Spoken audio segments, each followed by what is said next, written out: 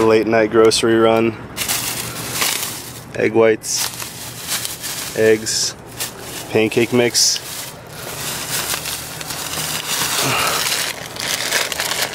You salute these.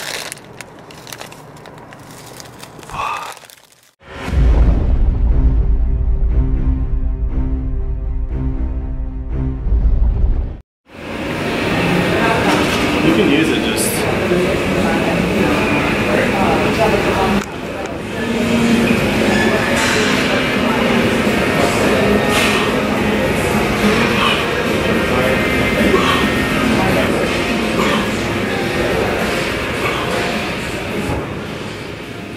What's going on guys? Getting this voiceover done Saturday evening.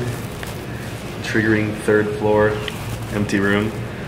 Always here and I'm glad it's empty because I can do the voiceover now. So this workout, the first pull workout in a while, full pull, back and bis I guess you could say. But uh, we also had to throw in some calves and traps also. So not neglecting any muscle groups or making it easier than it would be. It took about an hour and a half to get everything in. But it was really good. So um, I started with four sets of pull-ups and then moved on to my favorite seated row exercise right now, which is just with a straight bar, pretty much a neutral grip. So I will check in with you guys in a little bit. But for now, check out the last couple sets of pull-ups because these were really hard, especially at like 215 or almost 220 gym weight, so gains, trying to. Alright guys, we're in it with Sebastian. You already know him, his boy Joe right here. And we're just quickly going to finish up pull-ups here. I'm gonna try underhand, underhand pull-ups for the first time in forever. The reason I don't do them is because when I curl a bar like this, I do get tendonitis in my left arm. So I'm thinking from the strength and the ability I've gained to do lat pull downs, maybe I can start working in some chins. So I'm gonna do a couple sets here of dead hang chins and see if I even can do them. So, you got me, bro? Here. You just get me from straight on and see how it looks. Got it. I have no faith in my ability to do this right now at all. It's just so hard for me. That's good. Come on.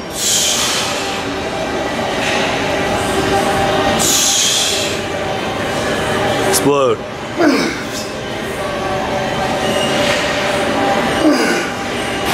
Feels weird. That's good. I'll try. I'll try a set like that.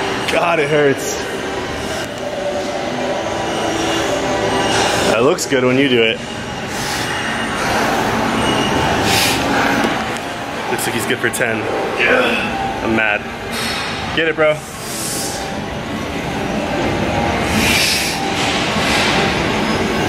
Oh. Up.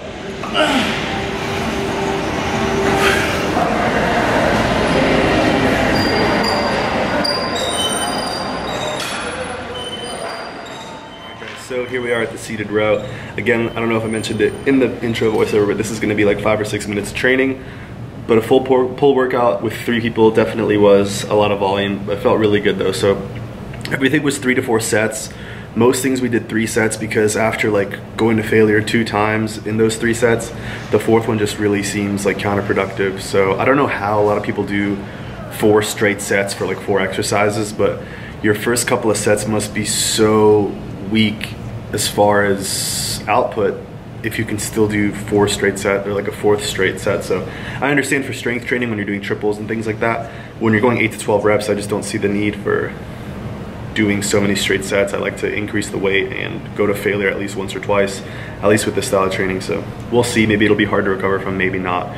But uh, two exercises for the lats, I guess you could say, the pull, the pull-ups, the rows, did some trap work, and then did rear delts. You can never do too many rear delt movements as long as you're doing them correctly. It's great for your shoulder health and shoulder strength, for your rowing strength, for your shoulder position on any exercise, pressing, pulling, overhead stuff. So rear delts are good. I don't do them enough, but I don't neglect them, so I haven't had a problem really. I've been training for 10 years and shoulders, any nagging pain comes and goes very infrequently, so um, yeah, I don't feel like I need more rear delts, but at least two or three times a week's good if you can squeeze it in. So maybe I'll start picking that up with a pull day. I don't see a problem with it. It's kind of when you have full upper body days where getting rear delts in becomes a task because it's just another muscle that you might want to isolate and maybe you just don't have time to or you're just kind of gassed from all the other volume. So it's kind of why after doing just the straight strength training, I'm going to go to more of a bro or split just because I want to do more volume in the gym. Uh, it's kind of some weeks like only going three times in the week and honestly for me, I perform better outside of the gym when I'm going like four times a week minimum. So I'm gonna start doing what I can with the training and just having a push-pull leg style split, doing legs as often as I feel like, probably every six to eight days until I can pick up uh, the volume on that too. So overall, really fun pull workout. Sebastian actually has a new channel that he just started. I'm gonna link it in the description and you'll be seeing a lot more of him. Hopefully, we'll be able to chill, get some more uh, training footage and footage outside the gym because he just got some pretty cool equipment. So looking forward to it and enjoy the rest of the video. Thanks for staying tuned and please like, comment, and share if you did like it. Peace.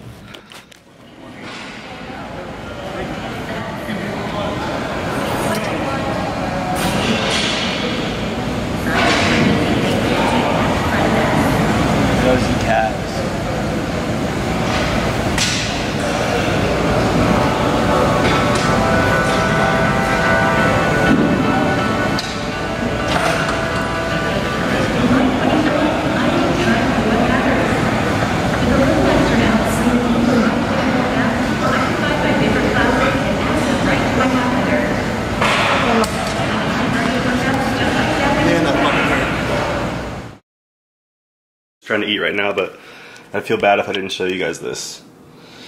Holiday chocolate chip pancakes, though. It's gonna, it's gonna be epic. So you gain weight, boys. At least I think.